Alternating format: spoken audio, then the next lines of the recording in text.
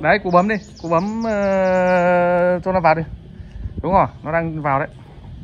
Cứ nhìn cái đèn nó sáng rồi là là là nó đang chạy Nghĩ là nó tắt nó đóng vào đây tắt à?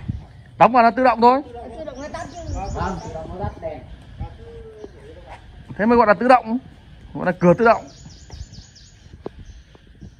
Rồi cô bấm cái nữa cho nó ờ, rồi cô bấm phát trên màu trắng đi cho nó đi ra đi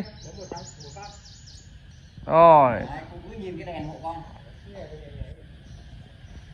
Đèn nháy là cậu đang mở.